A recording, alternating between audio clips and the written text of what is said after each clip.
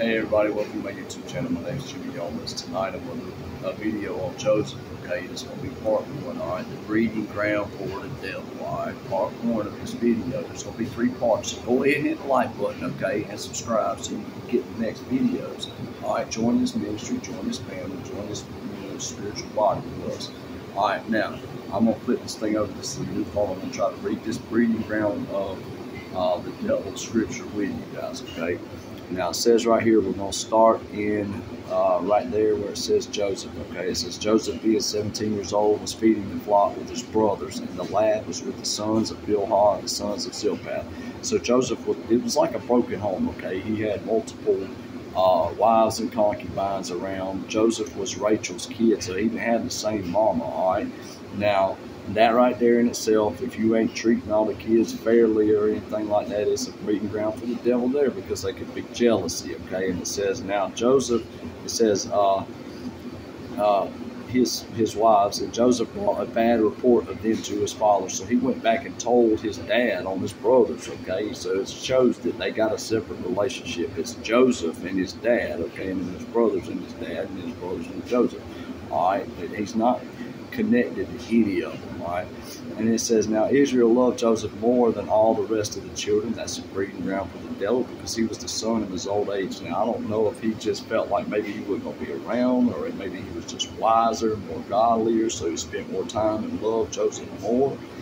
Um, I know it, it probably had something to do with Rachel as well, his mom. Jacob really loved Rachel. I mean, that's the one that he, you know, had a thing for. All right, now um, so it says because of his old age, also he made. All right, so he made him a tunic and gave him a gift. Okay, he didn't give all the other ones. All right, we'll read that. It says, and he also made him a tunic of many colors. But when his brothers saw that they loved him more than all his other brothers, uh, they hated him and could not speak to him. Okay, and now Joseph had a dream, so God puts this vision in his head, and he goes right back and tells him, "You got somebody that's jealous. You don't go tell them your plans and the things that God's put in your heart. Okay, you don't throw your pearls to the pigs; they'll turn around and they can trample you. All right, that's that's similar to what that means. Okay, but these are not necessarily all pigs. Okay, but if somebody's envious of you, they they're to try to they're to take what you tell them and use it against you. Okay, and it made his bros even madder at him. All right, so it's you know ultimately, I don't want these videos to be too long. We're going to go ahead. So you see a, a fierce breeding ground there for the devil, okay? Joseph has, all right, then the third and final, you know, this is in there too, okay? Joseph has a destiny from God. He's already a godly person.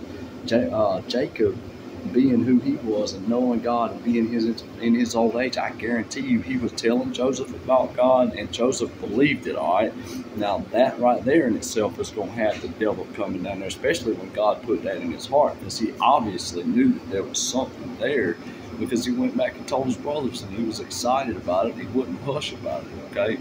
Now, ultimately, we just got the devil all in there. Now, when you start a faith, okay, when God puts something in your heart and you have the faith to try to plan your life and to try to seek out this daggum, this thing, listen to me. God purifies that faith by fire, okay? So He's going to allow the devil to do certain things to get you into the right mindset, to dislodge that sin, to teach you, uh, to show you, okay?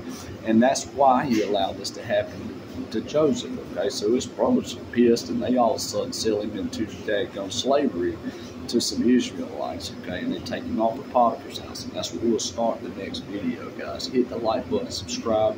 We're gonna work up to the Lazarus effect in the end. Okay, so watch all the videos. Hit the like button, subscribe. Thank you.